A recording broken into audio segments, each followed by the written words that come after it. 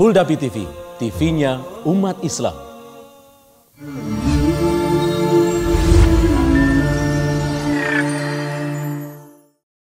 Bismillahirrahmanirrahim.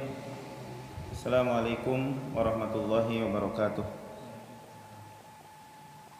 Innal hamdalillah nahmaduhu wa nasta'inuhu wa nastaghfiruh wa na'udzu billahi min sururi anfusina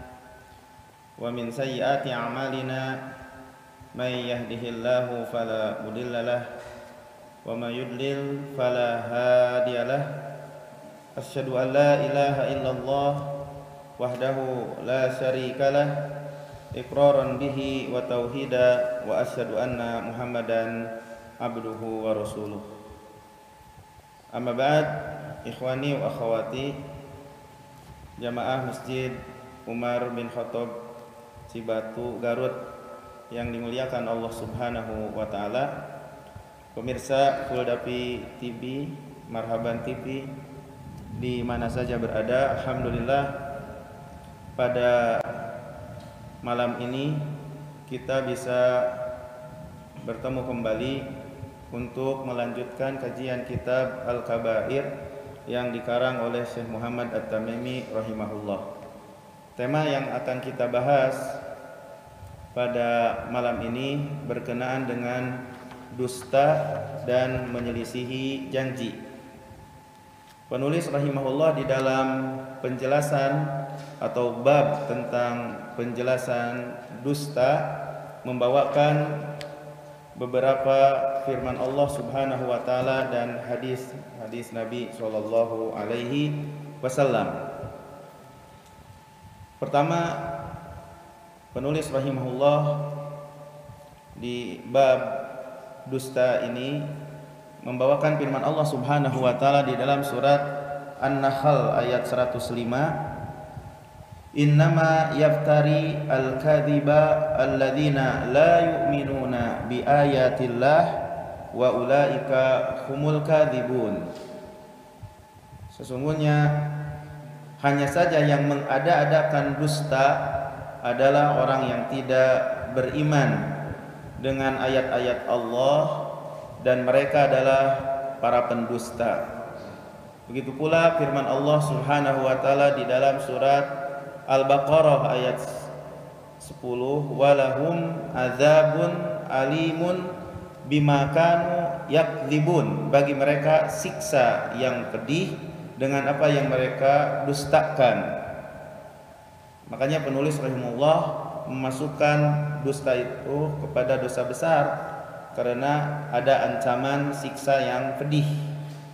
Begitu pula penulis rahimahullah membawakan firman Allah Subhanahu wa taala di dalam surat Al-Jasiyah ayat 7, "Wailul likulli affakin asim." Celakalah bagi setiap para pendusta dan yang selalu berbuat dosa.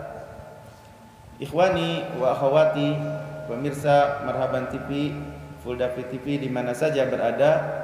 Yang dimaksud dengan dusta adalah lawan kejujuran yaitu mengkabarkan sesuatu yang tidak sesuai dengan kenyataan atau menyelisihi kenyataan. Jika mengkabarkan sesuatu yang tidak sesuai dengan kenyataan itu disengaja maka dia telah berbuat dosa. Dan jika tidak dengan sengaja, maka tidak ada dosa baginya. Bagi orang yang yang tidak sengaja. Dinamai pembicaraan itu dusta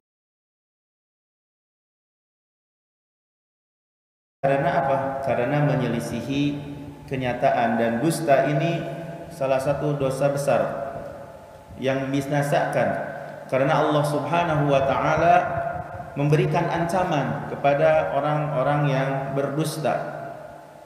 Fanaj'al la'natallahi 'alal kadzibin. Surat Ali Imran ayat 61. Maka kami jadikan laknat Allah terhadap orang-orang yang berdusta Dan perlu ikhwah dan akhwat ketahui pemirsa Marhaban TV dan Full Davi TV di mana saja berada bahwasanya dusta itu ada beberapa bagian. Pertama, dusta terhadap Allah. Dan ini merupakan dusta yang paling besar. Contohnya bahwa ada seseorang yang berkata sesungguhnya Allah telah mengharamkan ini. Allah telah menghalalkan ini tanpa dasar ilmu. Ini dusta. Dusta yang paling besar Sebagaimana Allah tabaraka wa taala berfirman di dalam surat Al-An'am ayat 21, "Wa man adzamu mimman iftara 'ala Allahi kadhiba." Tidak ada orang yang paling zalim daripada orang yang mengada-ada terhadap Allah Subhanahu wa taala kedustaan. Ini halal, ini haram tanpa dasar ilmu. Termasuk dusta kepada Allah Subhanahu wa taala adalah berbuat kesyirikan. Misalnya ada seseorang yang mengatakan bahwasanya Allah Subhanahu wa taala itu memiliki sekutu di dalam beribadah bersama Allah. Ini dusta. Ini dusta, kesyirikan. Atau perkataan orang Yahudi atau perkataan orang Nasrani bahwasanya Allah Subhanahu wa taala menjadikan anak padahal Allah tidak memiliki anak. Ini dusta termasuk dusta terhadap Allah Subhanahu wa taala adalah dusta dalam nama-nama Allah dan sifat-sifat Allah. Contohnya misalnya ada orang yang mentahrif, mentakwil, misalnya bersemayan Allah Ar-Rahman ala ala arsyis tawa. Allah bersemayan di atas arat ditakwil. Apa takwilnya? Berkuasa ini dusta terhadap Allah Subhanahu wa taala. Ya, mengatakan Allah bersemayam di atas aras, dia palingkan artinya atau ditakwil. Inilah dia nih maksudnya berkuasa. Ini dusta terhadap Allah. Kita memohon kepada Allah Subhanahu wa taala keselamatan dari dusta terhadap Allah Jalla Jalaluh. Makanya kita uh, makanya dusta itu bertingkat-tingkat dan ini adalah dusta yang paling paling agung, yang paling agung dusta terhadap Allah Subhanahu wa taala. Kemudian urutan yang kedua dusta itu adalah dusta terhadap Rasul sallallahu alaihi wasallam. Contohnya bagaimana? Membikin-bikin hadis palsu. Misalnya karena pingin laku dagangannya misalnya bikin bikin hadis ya, buatan sendiri misalnya. Menisbatkan kepada Rasulullah wasallam ini dusta terhadap Rasulullah sallallahu alaihi wasallam. Padahal Rasulullah SAW tidak mengatakannya. Nah, ya. Rasulullah sallallahu alaihi wasallam bersabda man kadzaba alayya muta'ammidan apa? Fal yatabawa maq'adahu minan nar. Barang siapa yang berdusta atas namaku dengan sengaja maka hendaklah dia bersiap-siap tempat duduknya dalam api neraka. Urutan yang ketiga adalah dusta terhadap ulama, ahli ilm dengan menisbatkan perkataan dalam berbagai masalah hukum fatwa kepada para ulama padahal para ulama tidak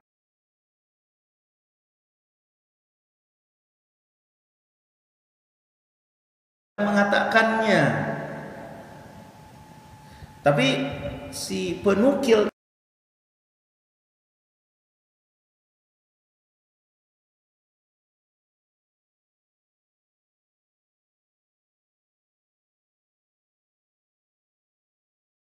itu sengaja mengatakannya untuk menguatkan pendapatnya atau pemikirannya. Maka dusta terhadap ulama seperti dusta terhadap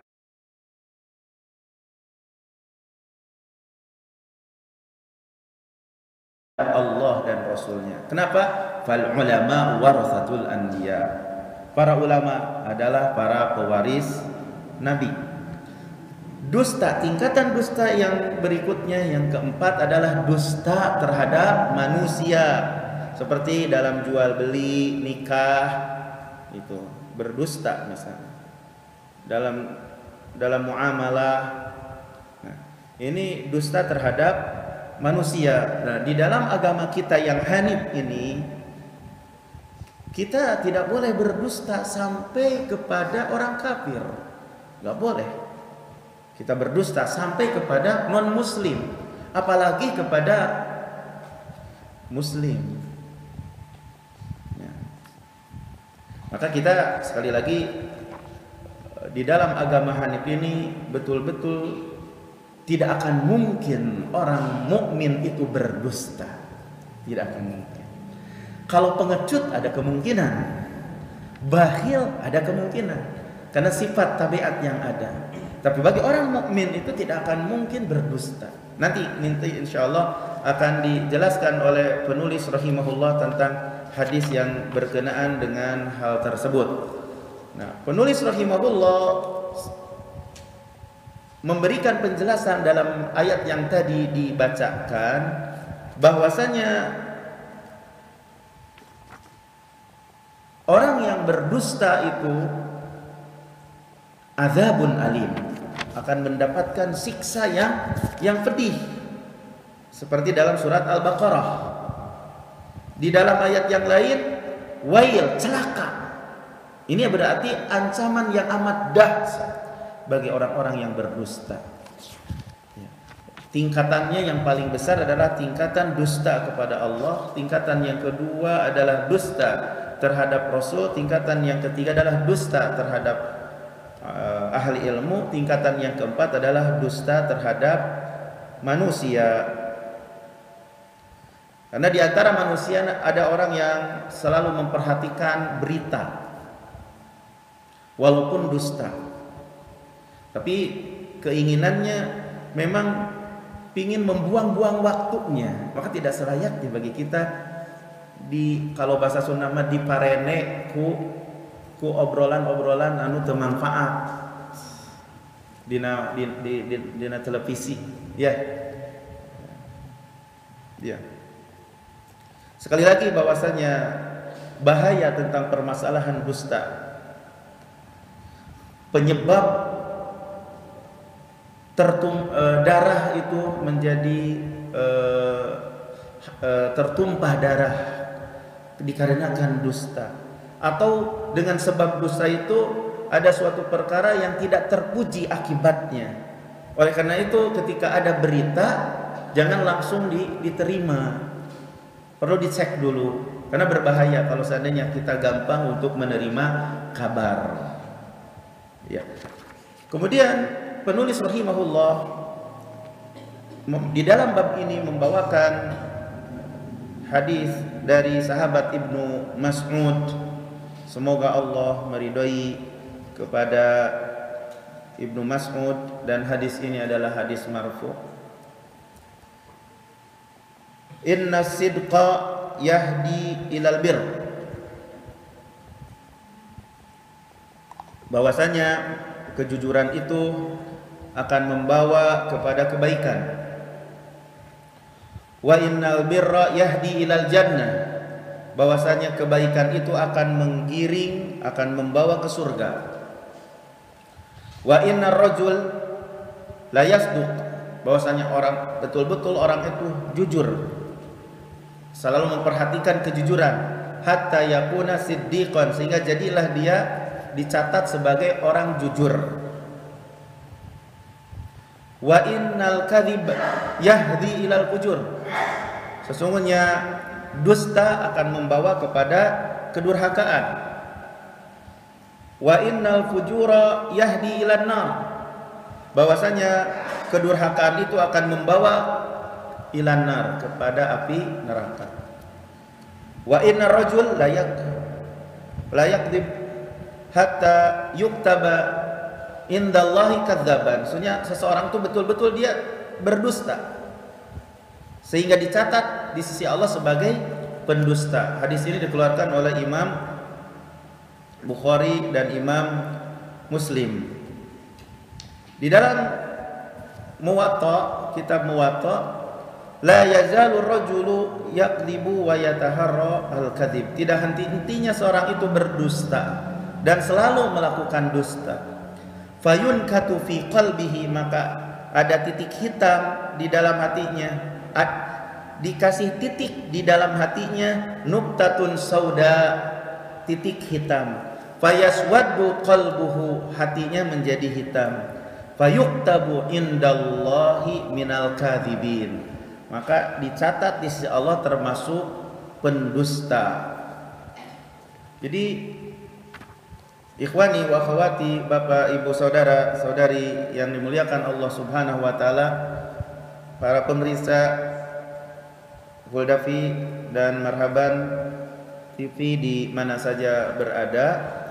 Tadi dijelaskan bahwasanya kejujuran itu membawa kepada kebaikan. Kebaikan itu akan membawa kepada surga. Jujur itu apa? Mutabaqatul khabar lil waqi. Kesesuaian kesesuaiannya kabar dengan kenyataan. Nah, seorang muslim selalu komitmen dengan kejujuran. Ini yang perlu kita perhatikan. Karena kita adalah orang-orang muslim jadi seorang muslim itu selalu komitmen dengan kejujuran. Baik dalam perkataan maupun di dalam perbuatan. Jika dia berkeinginan untuk berkata, dia akan hati-hati. Dia hati-hati. Biar yang dikatakannya itu bukan basa-basi, tapi betul-betul jujur sesuai dengan dengan kenyataan. Karena kejujuran akan menggiring kepada kebaikan. Dan kebaikan itu adalah kumpulan semua kebaikan. Kebaikan, ketakwaan itulah sebaik-baiknya teman. Mereka itu sebaik-baiknya teman. Jadi setelah Nabi, tingkatan setelah Nabi adalah as-siddiq. Ya, orang yang jujur. Maka oleh karena itu kita sebagai umat Islam, terutama para penuntut ilmu secara khusus, harus mendidik diri kita untuk jujur. Untuk mendidik diri kita untuk jujur di dalam berkata dan berbuat. Maka insya Allah kita akan digolongkan bersama orang-orang yang jujur akan mendapatkan kenikmatan. Makanya Abu Bakar As-Siddiq dibeli gelar As-Siddiq karena banyaknya kejujurannya dan selalu mendidik dirinya untuk jujur sehingga mendapatkan gelar yang agung ini as-siddiq adapun dusta ini berbahaya. Lawan kata dari jujur menyelisihi kenyataan yang di, dikabarkannya akan membawa kepada kedurhakaan. Jika seseorang itu sudah terbiasa dusta bahaya menjadi tabiatnya maka ketika dusta menjadi tabiatnya akan menggiring untuk berpaling dari keistiqomahan dan terjerumus kepada perbuatan-perbuatan maksiat atau keluar dari ketaatan kepada Allah Jalla Jalaluh. Kemudian dengan sebab itu dia masuk neraka. Orang durhaka kan tidak diterima syahadatnya orang fajir itu. Orang fajir itu tidak bisa diterima kesaksiannya orang yang durhaka itu. Nah, orang yang dusta itu durhaka. Dan manusia tidak akan membenarkan ucapannya karena udah udah terkenal dia itu sebagai pendusta. Jadi kedudukannya itu menjadi turun, tidak dipercaya karena selalu berdusta. Kan ada cerita uh, orang yang sedang mengembala waktu itu dalam pelajaran mutolaah lah waktu masih sanawiyah ya. Ada orang yang suka menggembala kambing. Terus ketika itu dia berdusta. Tolong, tolong, tolong, tolong ada serigala. Akhirnya masyarakat pada ramai mau nolong eh ternyata ternyata nggak ada serigala Yang kemudian di hari berikutnya, tolong, tolong, tolong serigala datang, rame terus ke sana. Pas dilihat gak ada serigala. Yang ketiganya seperti juga kalau nggak nggak salah. Pas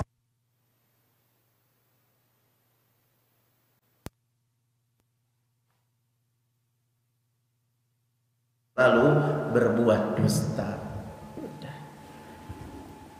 Bah, jadi akhirnya tidak dipercayai lagi ucapannya karena selalu berbohong. Al-muhim intinya bahwasanya kejujuran itu ikhwani wa akhwati sarana penyebab atau faktor yang menyebabkan masuk surga. Sedangkan dusta adalah sarana yang memasukkan ke dalam api neraka. Ini yang perlu kita waspadai. Ini yang perlu kita waspadai. Bahaya ini. Terutama pada zaman sekarang ini di mana zaman mudah untuk berbuat dusta. Ya, ya.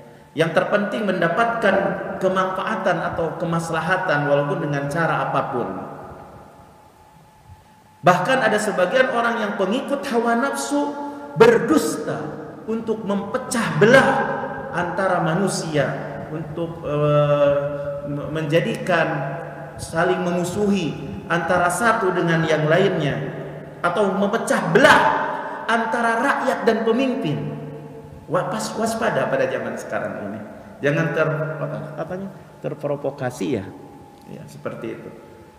Dalam hadis yang lain Nabi Shallallahu alaihi wasallam bersabda, "La yazalu ar-rajul yakdzib wa yataharral kadzib fayunkatu fi qalbihi nuqtatun sauda fayaswaddu qalbuhu fayuktabu indallahi minal kadhibin.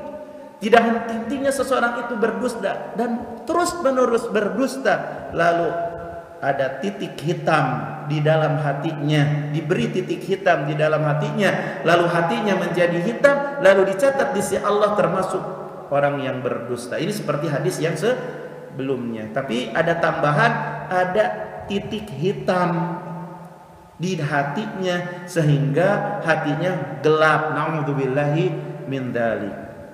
Jadi titik hitam itu seperti uh, uh, kotoran yang ada di cermin.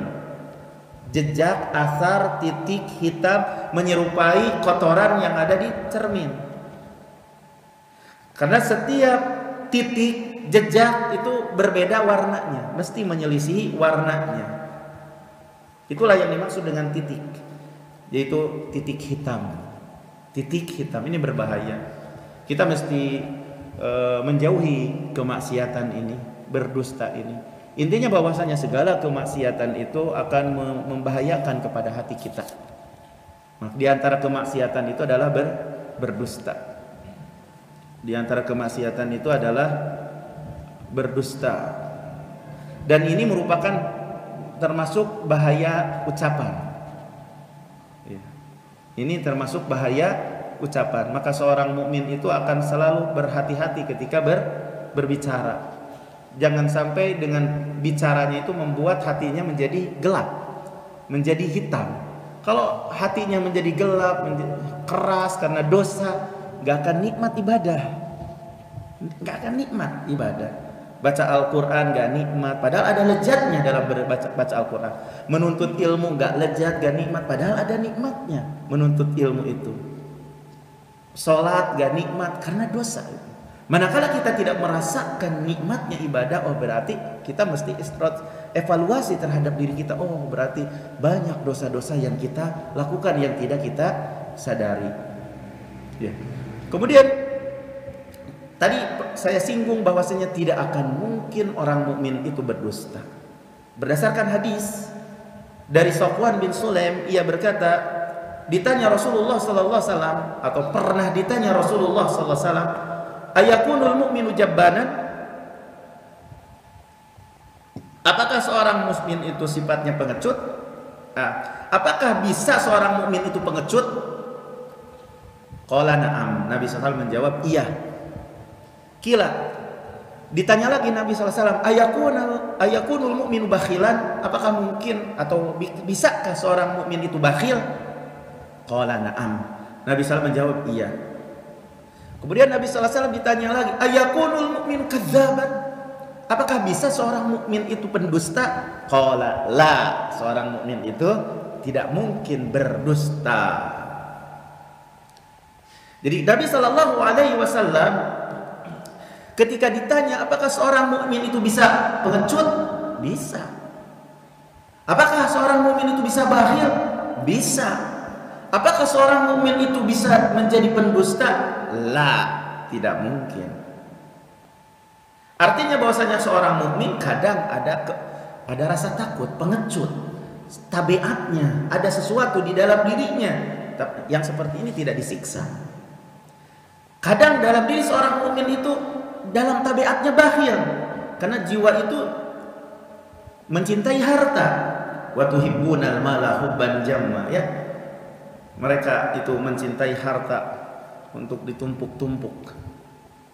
Ini sifat yang ada di dalam jiwa. Tabiat.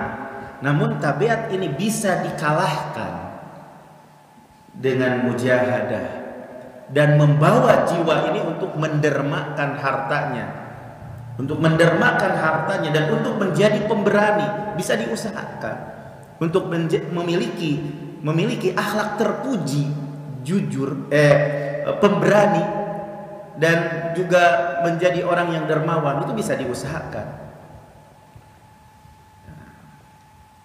tapi yang tadi dikatakan kalau seandainya pengecut dan Bahil itu merupakan sifat tabiat itu tidak disiksa.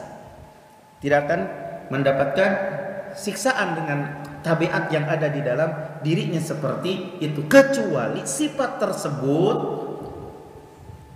menghalangi untuk mengeluarkan zakat yang diwajibkan atau memberikan nafkah kepada kepada keluarga.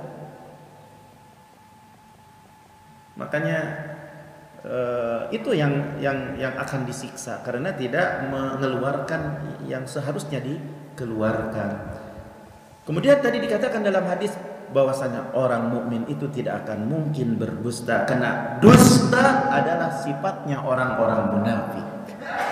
Dusta adalah sifat-sifatnya orang munafik sebagaimana Nabi Shallallahu alaihi wasallam bersabda ayatul munafiq salasun Tanda orang munafik itu ada tiga.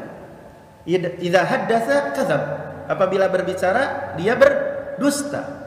Wa idza wa'ada akhlaf. Apabila dia berjanji dia menyelisihi.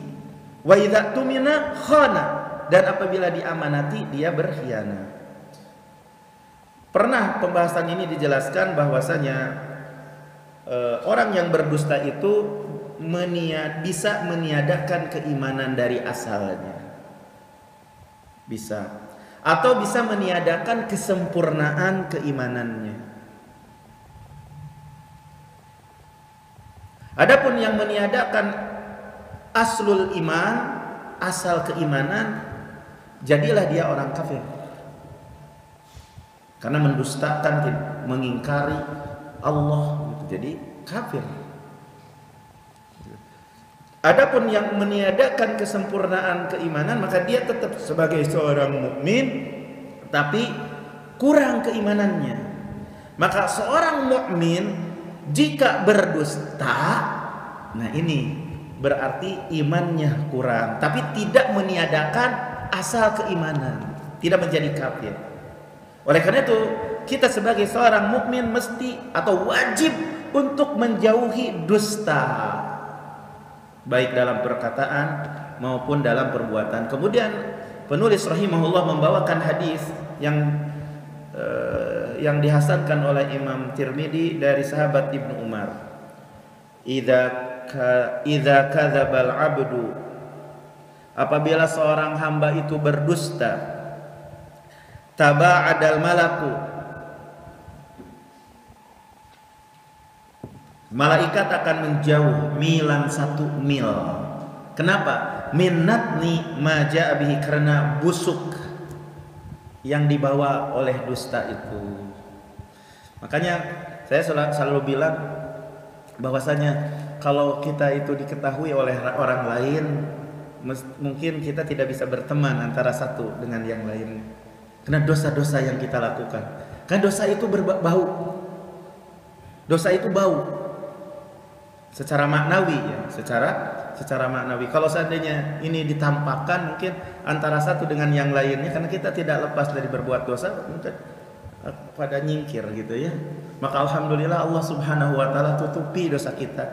Ya mudah-mudahan sebagaimana Allah Subhanahu wa taala tutupi dosa kita di dunia ini, Allah Subhanahu wa taala juga menutupi dosa-dosa kita di akhirat kelak. Maka hendaklah kita banyak-banyak memohon ampunan. Karena memohon ampunan artinya adalah menjaga dari keburukan dosa, disertai ditutupi dosa itu. Jadi kita tidak tidak dibukakan aib kita di dunia dan juga kita tidak dibukakan aib kita di akhirat. Kita nanti pada hari kiamat itu mudah-mudahan termasuk orang yang dihisab yang mudah. Hanya disodorkan kamu melakukan ini ya, kamu melakukan ini. Hampir sudah merasa dirinya akan celaka, Satar tuha, aku tutup dosa-dosa kamu di dunia dan dosa-dosa kamu sekarang di akhirat juga. Itulah yang disodorkan, hisab yang mudah. Adalah orang yang mendapatkan catatannya dari sebelah kanan. Ya. Ikhwani, tadi dikatakan bahwasanya malaikat itu menjauh satu mil karena bau busuk dusta. Jadi seorang hamba apabila dusta walaupun satu kali malaikat akan menjauh darinya. Waspada ini. Karena malaikat itu adalah yang mencatat amalan-amalan kita, perkataan-perkataan kita. Karena dengan sebab satu dusta aja bau busuk yang membuat malaikat menjauh. Jadi ini mesti kita waspadai, tapi kita tidak sadar. Intinya bahwasanya dalam hadis ini ada tambahan bahwasanya di antara keburukan dusta bahwa malaikat penjaga itu lari daripadanya karena keburukan apa yang dibawa bau yang dibawa oleh seorang hamba yang berbuat maksiat kepada Allah Subhanahu wa taala. Kemudian termasuk dosa besar yang dimasukkan oleh penulis rahimahullah di dalam kitab Al-Kabair ini menyelisihi janji ya. Menyelisih janji itu ikhwani wa akhwati pemirsa Huldafi dan Marhaban TV di mana saja berada ada dua macam. Ya. Yang pertama berjanji. Dalam niatnya dia berjanji tapi di dalam niatnya itu tidak mau menunaikan. Ini manusia yang paling buruk Walaupun dia mengatakan saya akan berbuat insya Allah pakai insya Allah. Dalam niatnya saya tidak akan berbuat. Dia telah berdusta. Udah dari dirinya dalam hatinya tidak akan menunaikan. Dia berjanji dalam niatnya sudah tidak mau menunaikan. Nah, itu ini, ini misalnya minjam uang. Nanti saya kembalikan. Makanya kalau di antara saudara kita ada orang yang meminjam uang walaupun pahalanya besar. Jadi orang yang meminjamkan uang itu seperti orang yang bersedekah setengahnya. Misalnya kita dipinjam uang 500 berarti 250 itu sama dengan sodako. Nah, itu pahala bagi yang meminjamkan. Nah, bagi yang meminjam harus bertekad untuk menepati janji. Harus. Ketika orang yang bertekad menepati janji akan terbayar. Tapi kalau seandainya di dalam hatinya itu tidak akan memenuhi janji sampai hari sampai kapan pun dia tidak akan bisa membayar. Ya, bahaya ini. Makanya kalau seandainya ada misalnya per, sedikit perselisihan atau antara satu teman dengan yang lain itu kadang dari sisi akhlak ini biasanya biasa. Nah, kembali lagi bahwasanya menyelisih janji ini uh, ada dua macam. Yang pertama berjanji dan dalam niatnya itu tidak mau menunaikan. Contohnya dalam berutang misalnya.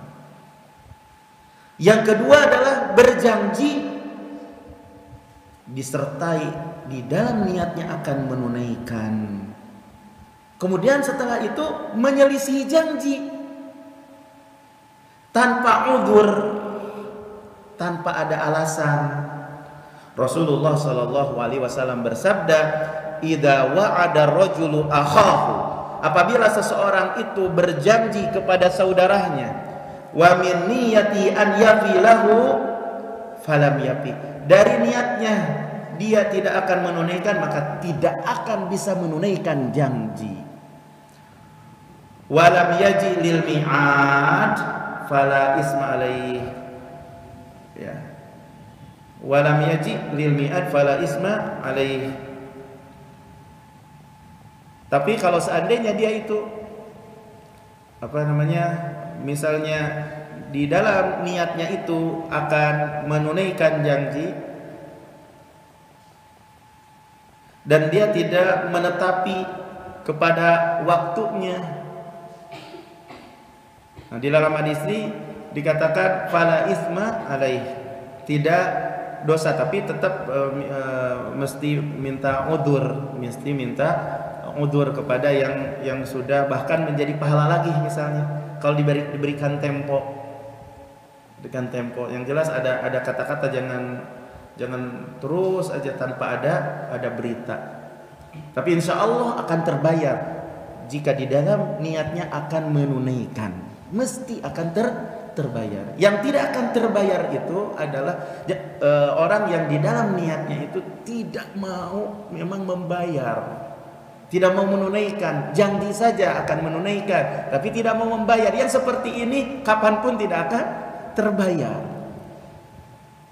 Dan kita juga tidak boleh mempermudah dalam masalah janji juga ya.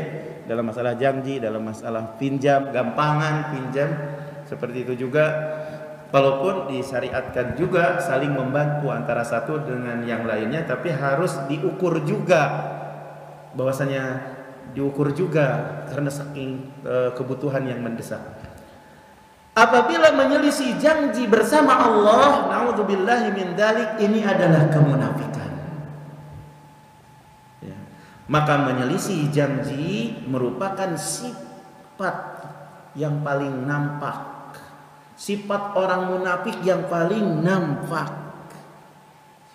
Allah tabaraka wa taala berfirman wa minhum man ahadallah. Di antara mereka orang-orang munafik ada orang yang berjanji kepada Allah. Lihat, lain atana min fadli. Jika kami diberikan karunia, lanasaddaqanna wa lanakunanna. Kami akan bersedekah, mendermakan harta dan kami akan menjadi orang soleh. Saya berjanji ya Allah, kalau saya diberikan anu, saya akan mendermakan harta dan menjadi orang soleh. Falamma atahum min fadlihi tatkala Allah berikan kepada mereka orang munafik karunia Allah bakhilu bihi wa tawallaw wa hum Mereka bakhil dan mereka berpaling. Ini sifat orang munafik. Berjanji kepada Allah begini-begini ingin ah, baiknya itu kalau saya mendapatkan ini misalnya saya kalau udah banyak harta mau ngaji terus kalau sekarang malah nanti dulu Eh sudah dikasih harta tetap aja nggak ngaji. Nifaqan fi qulubihim ila yaumi yalqawnahu bima ma wa bima kanu. Maka Allah Subhanahu wa taala menimbulkan kemunafikan dalam hati mereka sampai hari di mana mereka bertemu Allah dengan sebab mereka menyelisihi Allah terhadap apa yang mereka janjikan dan dengan sebab mereka berbuat dusta. Minhum di sini minal munafiqin. Sifat yang paling nampak dari orang munafik adalah yang menyelisih janji kepada Allah. Mereka selalu bersumpah, berjanji jika Allah memberikan ini dan itu saya akan bersedekah. Nah, tapi tatkala mereka sudah mendapatkan mereka menyelisihi janji. Maka Allah tambahkan kemunafikan kepada mereka. Intinya bahwasanya kita sebagai seorang mukmin ikhwani wa akhwati pemirsa Marhaban TV dan Fuldavi TV di mana saja berada, seorang mukmin itu apabila berjanji kepada Allah wajib untuk benar. Wajib kalau berjanji dengan Allah mesti benar, mesti jujur. Namun apabila berjanji dengan manusia ini ada perselisihan pendapat. Di antara mereka ada yang mengatakan wajib, di antara mereka ada yang mengatakan dianjurkan. Gitu. Tapi yang benar tetap mesti jujur, wajib jujur itu walaupun bersama manusia. Kenapa? Karena Allah Subhanahu wa taala mengancam kepada orang-orang yang menyelisih janji-janji mereka. Dan ancaman itu tidaklah terjadi kecuali karena meninggalkan yang wajib.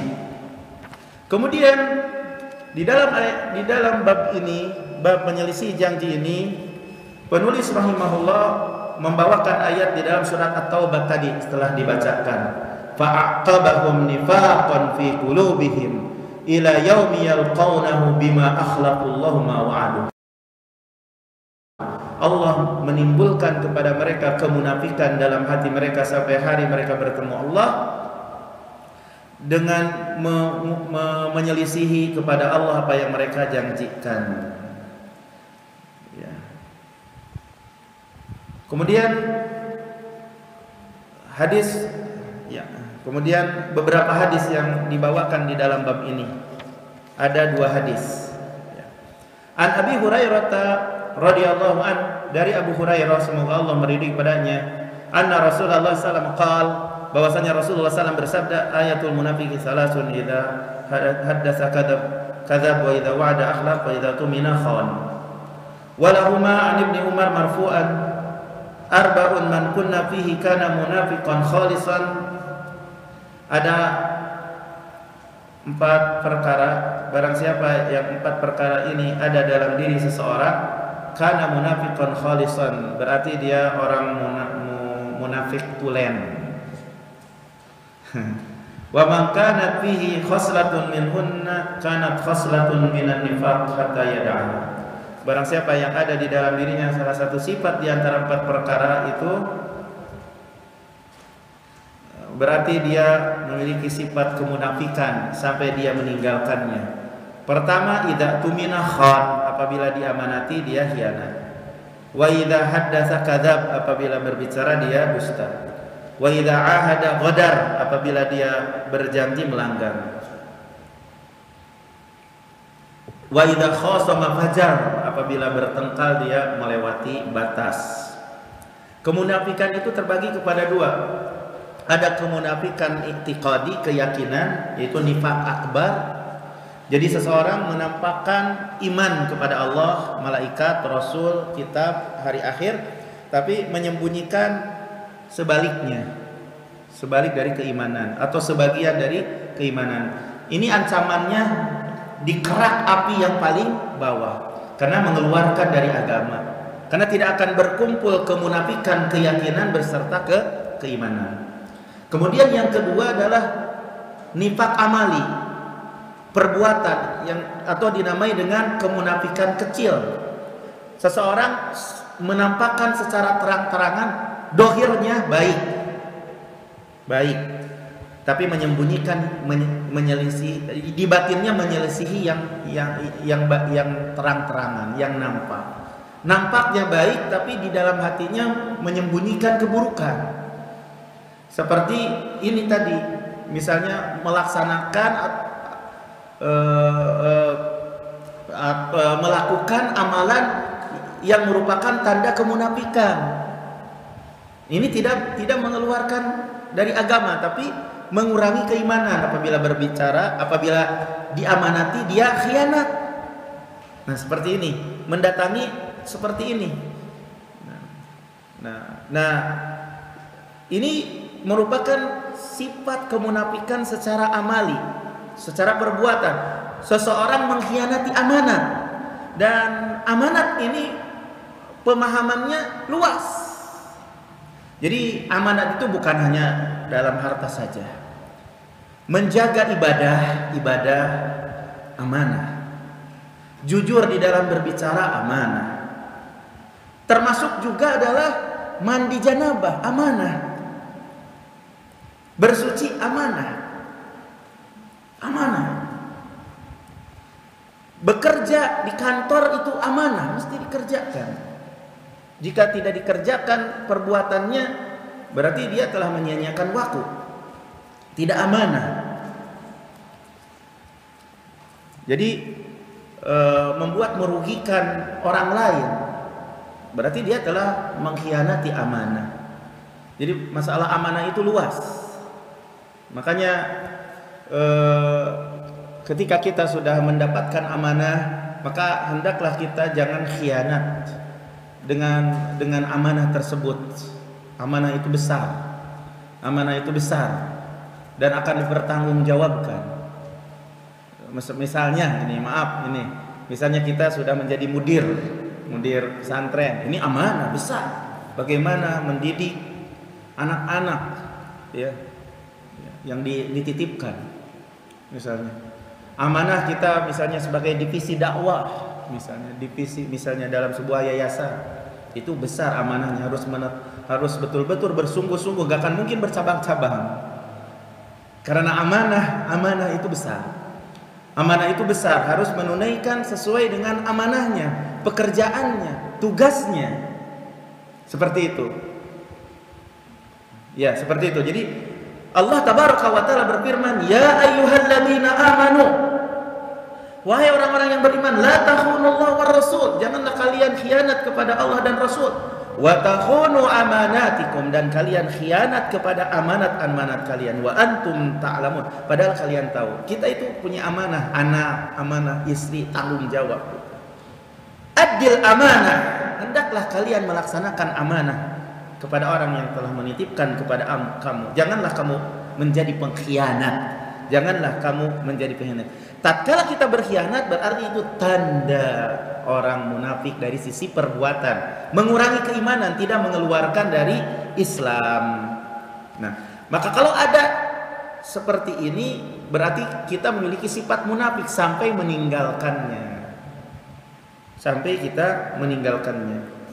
Kemudian perlu yang yang perlu kita pahami dalam masalah uh, bab bab menyelisih janji ini bahwasanya tadi di dalam hadis telah disebutkan disebutkan bahwasanya di antara sifat kemunafikan itu adalah khianah khianah dalam amanat dan juga dusta. Begitu pula ketika berjanji melanggar. Maksudnya melanggar janji seperti berjanji bersama, pemimpin, penguasa, pemerintah, berbaiat, maka kita tidak boleh melanggarnya.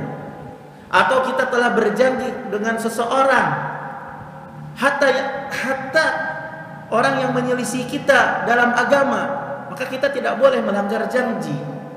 Misalnya apabila kita telah mengadakan suatu ikatan janji bersama orang kafir, maka kita tidak boleh yang pertama kali melanggar janji. Apalagi bersama orang yang beriman, bersama umat Islam. Jadi kecuali apabila mereka sendiri yang melanggar pertama kali. Nah, walaupun misalnya kita khawatir mereka itu khianat, tetap kita tidak boleh melanggar janji. Tidak boleh karena kita sudah sudah berjanji walaupun bersama orang yang menyelisih kita di dalam agama. Wa imma takhafanna min qaumin khiyanatan fanbit ilaihim ala sawa innallaha la yuhibbul khainin. Ya. Ada kalanya kamu takut kepada kaum yang itu ada khianat? Maka tetap aja sesuai dengan janji bersama mereka. Sama. Jangan ada walaupun ada rasa takut khawatir berkhianat karena Allah Subhanahu wa taala itu tidak mencintai orang-orang yang khianat. Lihat, perhatikan keagungan agama Islam ini menjaga janji sampai bersama musuh-musuh Allah. Maka yang tidak menunaikan janjinya ini sifat merupakan sifat orang munafik sampai dia meninggalkannya. Kadang kita tidak disadari masalah ini. Kita punya banyak amanah, tapi kita tidak mau lakukannya. Belajar itu amanah. Misalnya seseorang yang sudah diterima misalnya di sebuah universitas tertentu, amanahnya untuk belajar, maka belajar. Misalnya seperti Misalnya nanti insya Allah di Umar bin Khattab ini akan mengadakan uh, mudah-mudahan Allah berikan kemudahan untuk menerima tadribud doa untuk laki-laki dengan gratis. Amanah untuk selalu duduk dan menghafal Al-Quran dan memahami ilmu yang akan diajarkan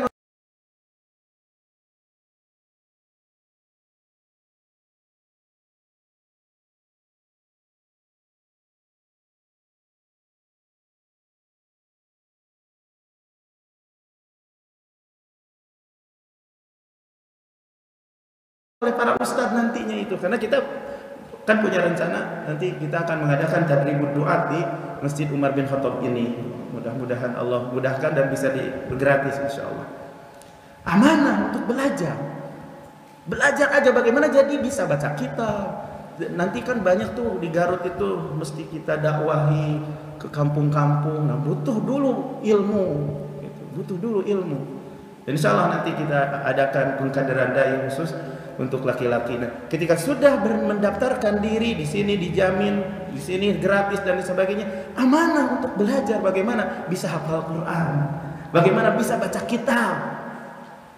Sungguh-sungguh begitu.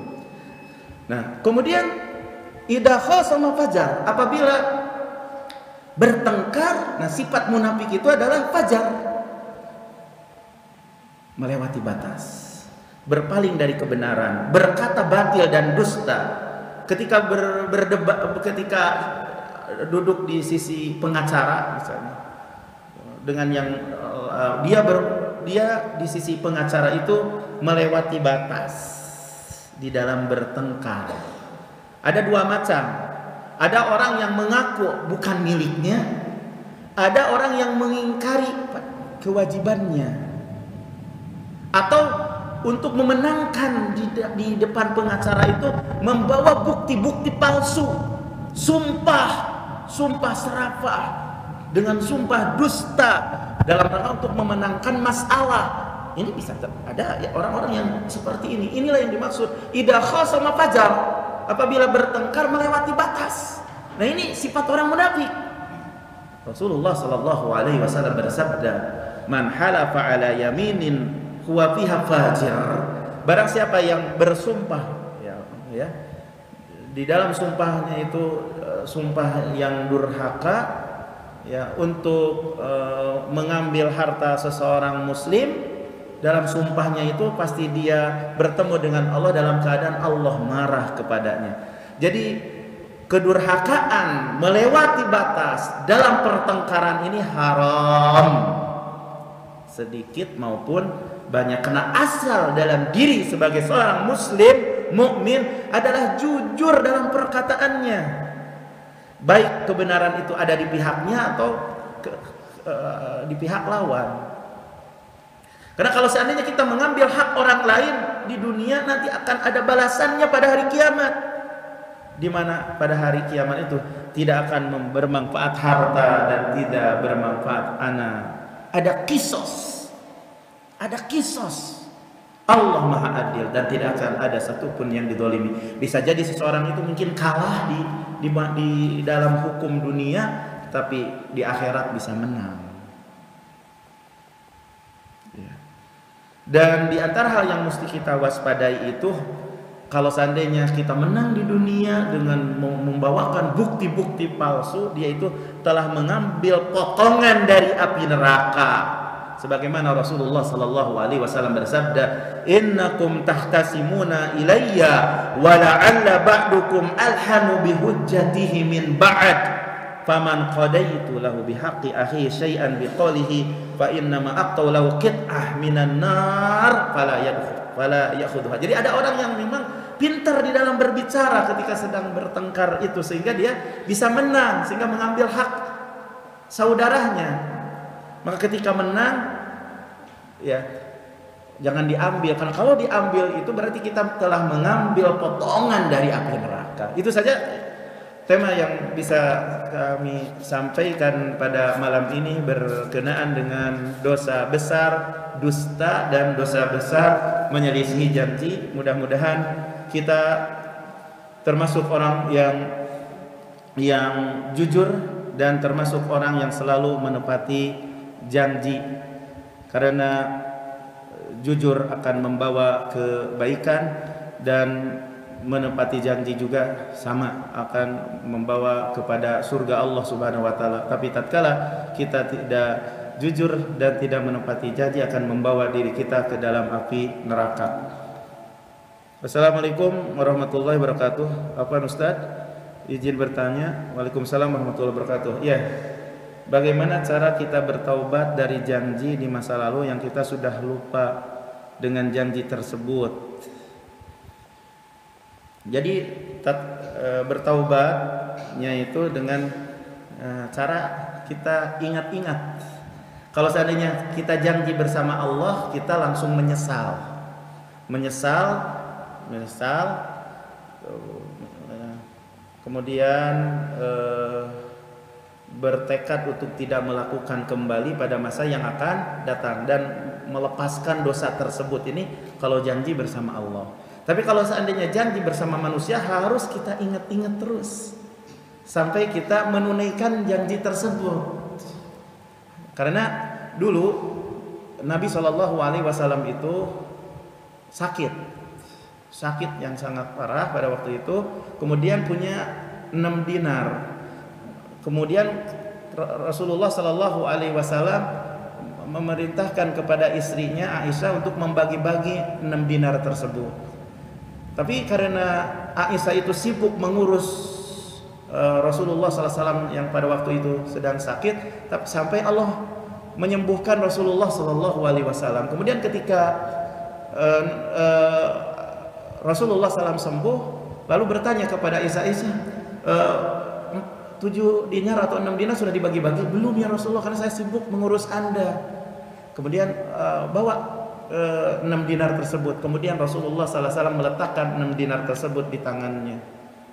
Eh, demi Allah, bagaimana kalau seandainya Muhammad ini meninggal sedangkan enam dinar ini masih ada di tangannya? Ya, ini mesti kita renungkan. Lihat.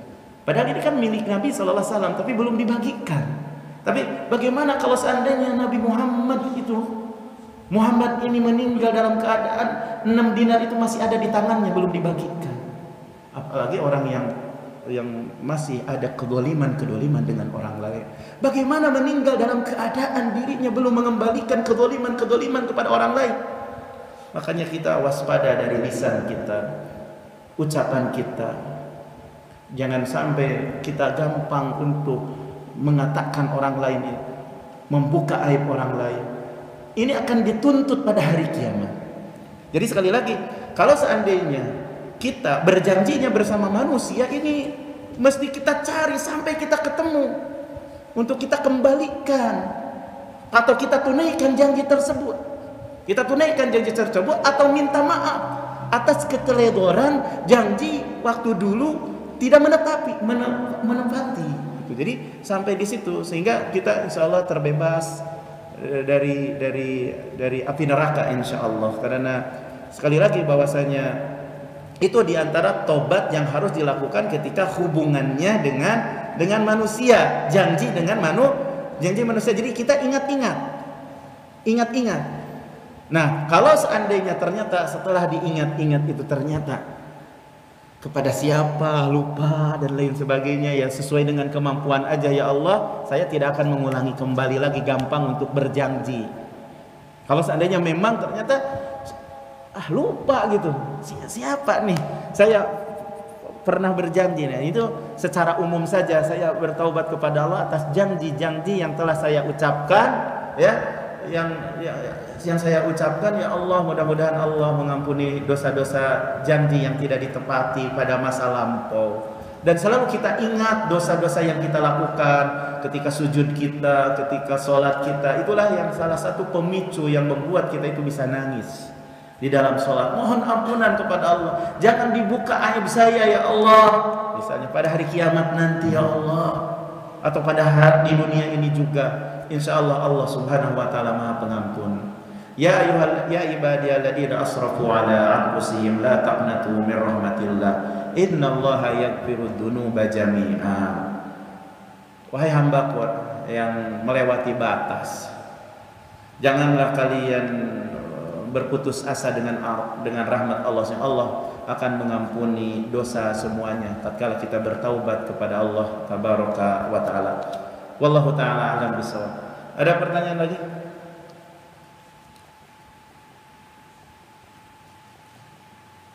Ya, kalau seandainya e, pertanyaannya mungkin karena sudah paham semuanya ya, insya Allah dicukupkan saja tema yang kita bahas pada malam ini mudah-mudahan bermanfaat.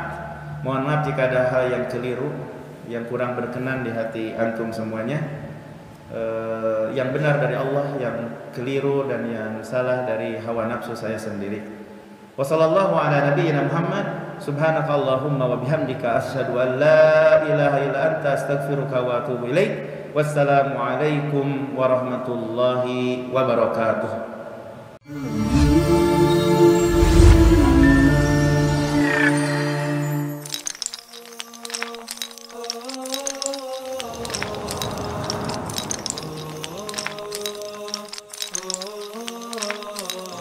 Pulda TV, TV-nya umat Islam.